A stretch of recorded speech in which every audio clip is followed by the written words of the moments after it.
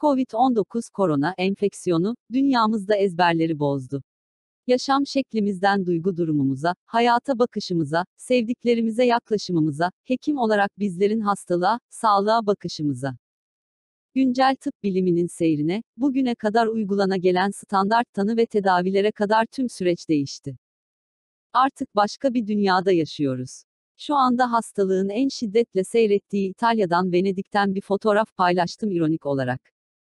Tekrar o günlere ulaşacağız. Umut, mutluluk hepimizin içinde.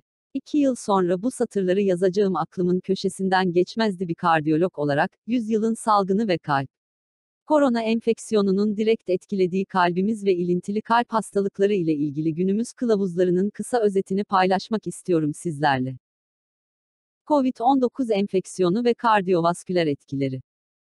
Covid-19, Aralık 2019 tarihinde Çin Halk Cumhuriyeti Wuhan bölgesinde ortaya çıkan ve solunum yollarını etkileyen, orada kontrol altına alınamayınca tüm dünyaya yayılarak, pandemiye sebep olan bir virüstür.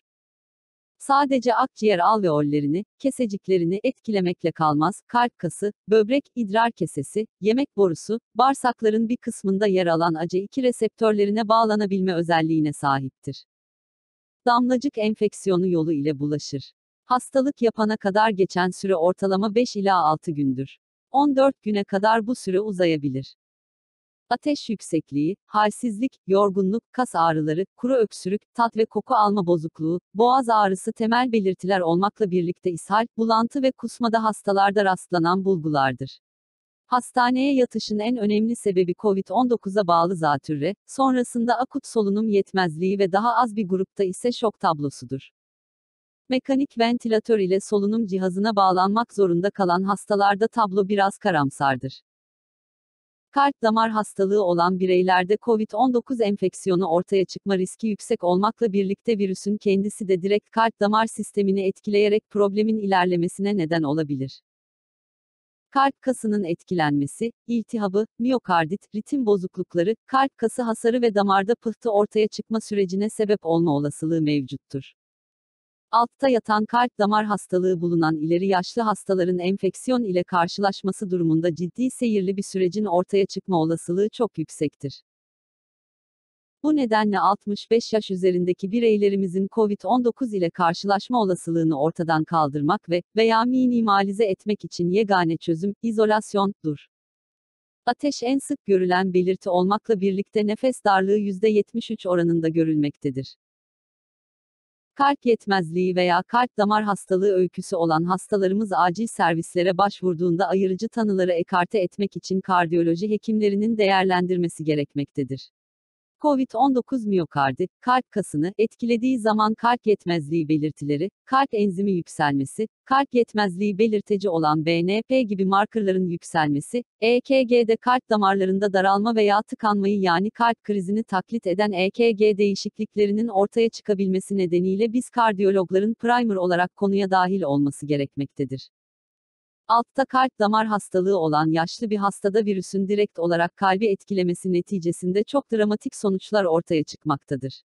Ayırıcı tanı, tedavi stratejisinin belirlenmesinde çok önemlidir.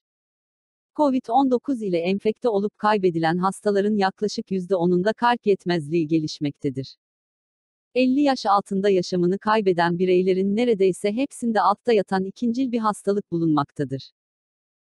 COVID-19 enfeksiyonunda biz kardiyologların tanı amaçlı kullanmış olduğumuz biyokimyasal belirteçler belirgin olarak etkilenir. Troponin, BNP, D-dimer gibi sırasıyla kalp krizi, kalp yetmezliği ve akciğer damarı pıhtısı hastalıklarında yükselen bu belirteçler, hastaneye yatırılan hastaların ortalama %50'sinde pozitiftir. İşte COVID-19 burada da şaşırtmaktadır hepimizi. Sadece bu kan tahlilleri ile sonuca ulaşmakta yanıltıcı sonuç vermektedir. Bu hastalar için ek tanı ve tedavi stratejileri geliştirmiş bulunmaktayız. Korona enfeksiyonunun pandemisinin olduğu şu dönemde acil olmayan koroner anjiyografi, elektrofizyolojik çalışma, ablasyon, kateter, stent uygulamalarının mutlaka ötelenmesi gerekmektedir. Ani kalp damarı tıkanıklığı ile ortaya çıkan akut miyokard enfarktüsünde yani kalp krizinde dahi, bugüne kadar olan yaklaşımlarımızdan farklı olarak, eğer hastada COVID-19 şüphesi varsa acil koroner anjiyografi yerine damar açıcı, pıhtı eritici ilaçların kullanımı hem hasta hem sağlık çalışanları açısından daha avantajlı olabilir. Yine biz kardiyologlara en çok yöneltilen soru grip ve zatürre aşısının bu dönemde yapılma zorunluluğu ile ilgili. Daha önce aşılar ile ilgili bir paylaşımım olmuştu. Korona enfeksiyonuna kadar aşılamanın önemi hiç bu kadar fark edilmemişti halkımız ve dünya tarafından. Aşı karşıtı gruplar ortaya çıkıyor ve çoğalıyordu.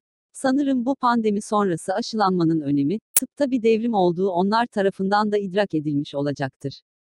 Sonuç olarak kalp damar hastalığı olanlar, kalp yetmezlikli hastalar, kalp kapak hastalığı olan hastalar ve ileri yaşlı hastalar aşılarını rutin olarak yaptırmalıydılar ve bundan sonra da yaptırmalılar. Bu aşılar bireyleri COVID-19'dan korumaz. Ancak COVID-19 enfeksiyonu ile karşılaşıldığında ikinci zatürreleri veya ikincil enfeksiyonların ortaya çıkmasını engeller. Aşı yaptırmak için koronavirüsü ile karşılaşma olasılıkları olan ortamlara girmeleri, daha da önemlisi evden çıkmaları belki de çok daha büyük zarar verecektir. Aşı olmak için ev ortamında tüm önlemler alınarak ve minimal sosyal temas ile bunun sağlanabilmesi mümkün değil ise, evde kalmak, belki de çok daha koruyucu olacaktır şu dönem için. Güzel günlerde, güneşli günlerde umutlarımızı, hayallerimizi konuşmak dileğiyle. Sağlıkla kalın.